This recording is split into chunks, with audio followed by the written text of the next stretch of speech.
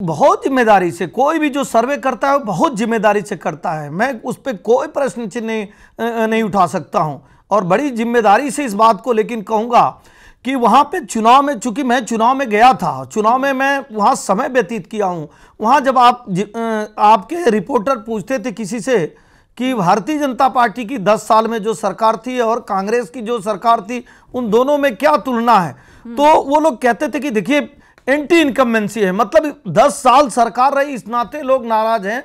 लेकिन जैसे कांग्रेस पे बड़े बड़े जमीनों के भ्रष्टाचार का आरोप लगा जैसे 2005 में और 2010 में दलितों पे अत्याचार हुए कांग्रेस के सरकार में भारतीय जनता पार्टी की सरकार में ऐसा कुछ नहीं हुआ। तीसरी बात वहाँ की जनता से आप जब भी बात हो रही थी तो वहाँ की जनता ये कह रही थी एक आम आदमी को भी पारदर्शिता से नौकरी मिली खर्ची पर्ची की सरकार नहीं रही अब जम्मू कश्मीर पे आ जाइए दस सेकंड में हम्म। देखिए जम्मू कश्मीर में कितना बदलाव हुआ है हम तो कह सकते हैं। लेकिन राहुल गांधी जी जाकर वहाँ पर जब आइसक्रीम खा रहे हैं बैडमिंटन खेल रहे हैं पर्यटन कर रहे हैं इसके पहले कोई कांग्रेस का व्यक्ति अपना फ़ोटो दिखा दे कि गया हो। उनके गृह मंत्री जी कहते थे जम्मू कश्मीर में जाने में डर लगता है।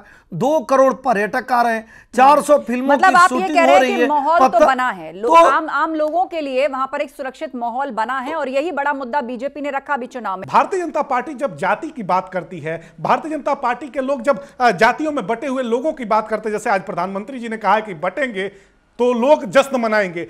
योगी आदित्यनाथ जी जाते हैं तो कहते हैं कि बटेंगे तो कटेंगे। अरे योगी जी और मोदी जी अब इन सब चीज़ों से बाहर निकलिए। हिंदू मुसलमान भारत पाकिस्तान ईद बकरीद होली दिवाली अब इन सब विषयों को निकाल दीजिए। जनता जो चाहती है वो जनता को दीजिए। रोजी रोज़गार की बात करिए किसान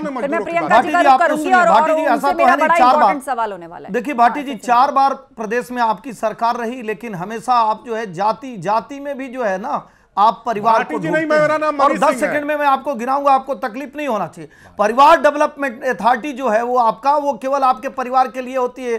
मुलायम सिंह जी मुख्यमंत्री हो जाते हैं उनके लड़के मुख्यमंत्री भाई सांसद दूसरे भाई सांसद भतीजा विधायक दूसरा भतीजा सांसद चारों भाई भतीजा विधायक सांसद हो जाते हैं। आप पीडीए की बात करें पीडीए में आपने काम क्या किया? पीडीए में तो ऐसा तो नहीं है कि पीडीए में केवल जो समाजवादी पार्टी में होंगे वही पीडीए होंगे।